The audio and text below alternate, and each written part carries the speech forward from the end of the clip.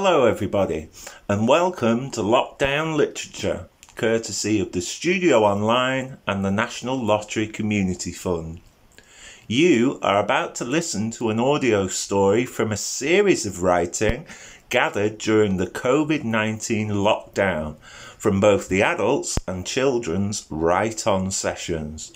So relax settle back and enjoy a selection of writing from some of the finest creative minds at the studio.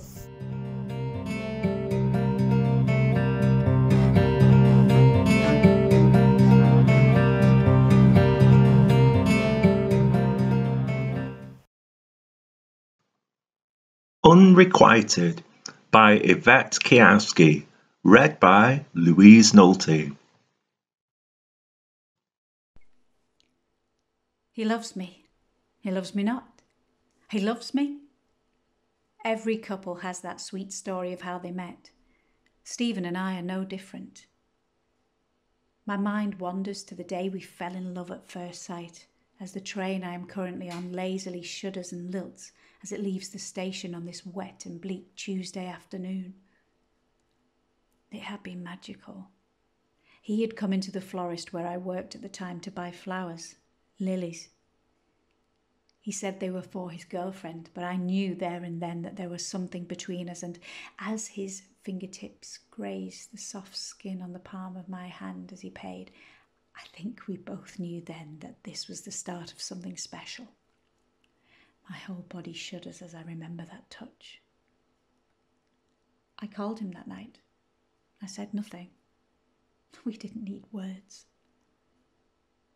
I called him every night for weeks, never saying anything.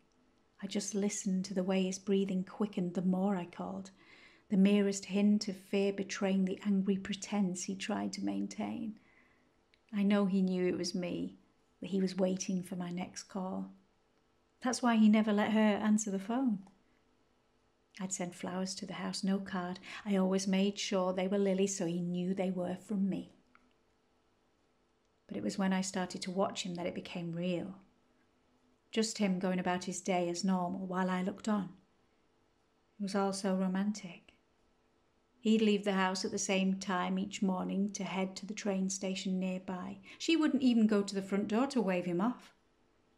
I would call in sick just to follow him to work. Oh, now I've lost my job at the florist, I can devote all of my time to my relationship with Stephen.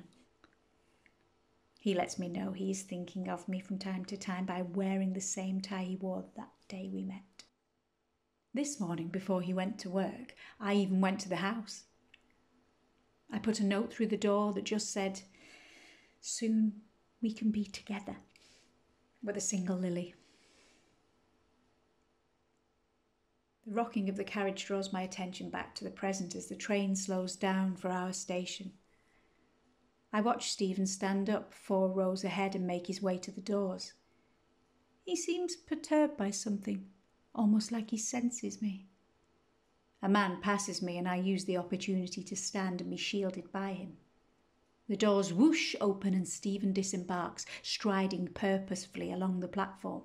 He walks faster than normal, and I can only just see his head above the crowd as he moves along ahead of the sea of commuters. As the throng disperses, I notice his fists are clenched and his jaw is tight. A vein throbs in his forehead. As we leave the station, the rain does not deter Stephen and his mission. I struggle to keep up, my breath heavy and laboured. Does he know I'm here? With each corner he turns, my heart lurches. But this is not out of sight, out of mind. He is always on my mind. He is my last thought as I go to sleep my first thought as I wake. I think about the picture of him on my bedside table. He looks strong but lean, his chiselled face catching the light as he looks deep in thought.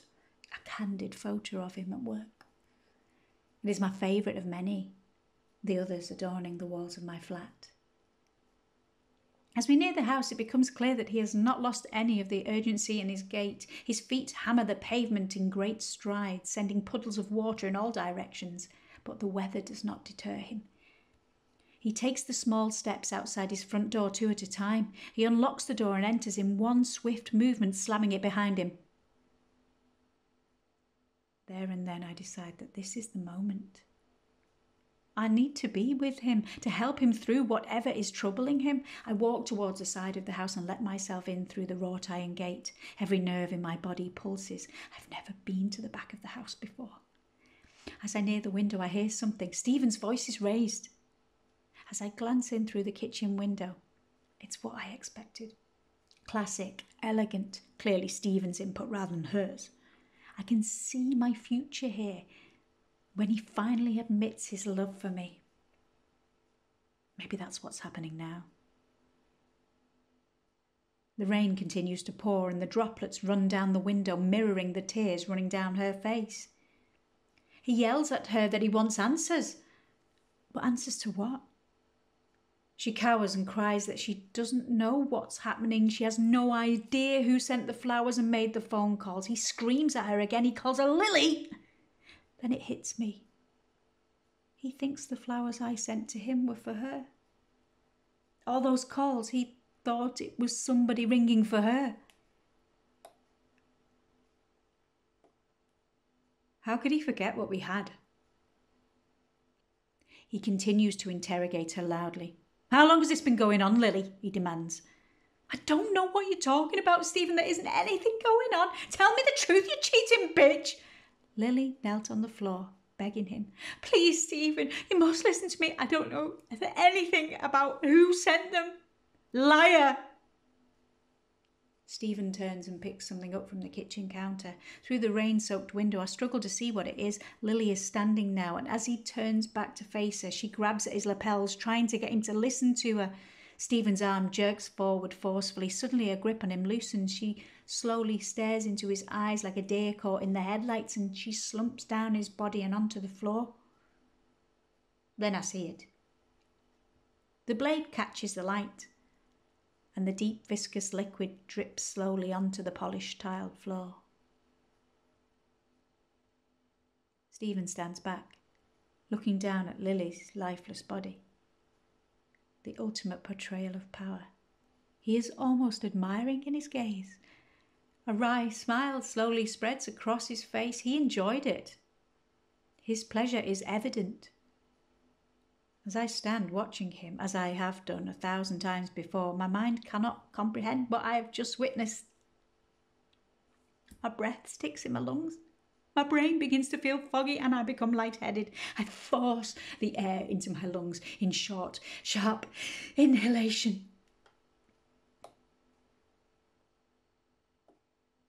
He looks at me. He looks at me for the first time since I fell in love with him. The smile has faded from his lips. We both stand rooted to the spot like hundred year old oak trees. He seems puzzled to see me there. We stay this way for what seems like an age. As he lunges for the door, it takes me a second to realise what is happening. I'm next. I turn and make my way back down the path towards the front of the house. My wet clothes feel like they're weighing me down, preventing me from making any progress. As I reach the wrought iron gate, I fondle the catch, but I can't open it. I hear heavy footsteps behind me splashing through the rain. I try the gate again. It opens. I make my way onto the street desperately searching for another human being to help me. The irony is not lost on me as I think of all those times I waited here trying not to be noticed. There is not a soul around. The dark night and rain have evidently driven people to seek shelter. I make the snap decision to turn right, head back towards a station. The footsteps behind me continue, and with every turn I make, I feel like he's gaining on me. My mind snakes with a million thoughts, all clamouring to be heard. In my confusion, I take a wrong turn. Suddenly, I'm in the park, careering past swings and seesaws. I think about all the families that have such a nice time here on hot summer days, their laughter floating through the air as they play and eat ice cream. It's a world away from that now, I recognise as my legs begin to ache and my muscles scream for me to stop. Footsteps, footsteps, footsteps. I run into the trees, thinking the darkness will allow me some disguise. When I am deep enough, I hide behind one of them. The footsteps stop as the wet leaves mute all sound. My breathing is heavy. My heart beats loudly in my ears. I hold my breath, conscious of any noise. Eventually, I pluck up the courage to peer to my right, around the thick trunk. There's nobody there. I exhale. I decide to stay for a moment to check all is clear. I rest the back of my head against the tree to try and stop the world from spinning. My chest moves heavily up and down as I desperately try to get more oxygen, ready to run to safety. I turn my head back to the left. A face greets mine. We're so close, our noses are almost touching. I spin again and start to run, but Stephen is too quick for me. He trips me, and I'm just have time to put my hands out in front of me as I fall to the ground. He is quickly behind me and flips me over. He straddles me at the waist, pinning me to the mulch of wet leaves and bark. There is nothing left in my lungs to cry for help. There is madness and confusion in his eyes. Do I know you? He snarls in my face. Death cannot come soon enough now. He loves me. He loves me not.